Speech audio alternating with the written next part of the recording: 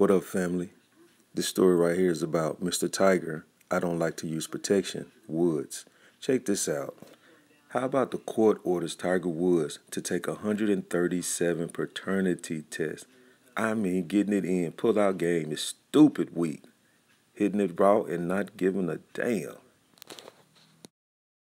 The court's decision came after 121 women who claimed to have been Tiger Woods' mistresses and to have given birth to his children.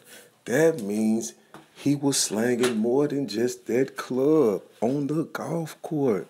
Many of the women yelled and cried with joy when the judge announced the verdict, as some of them had been fighting for more than seven years to obtain this judgment.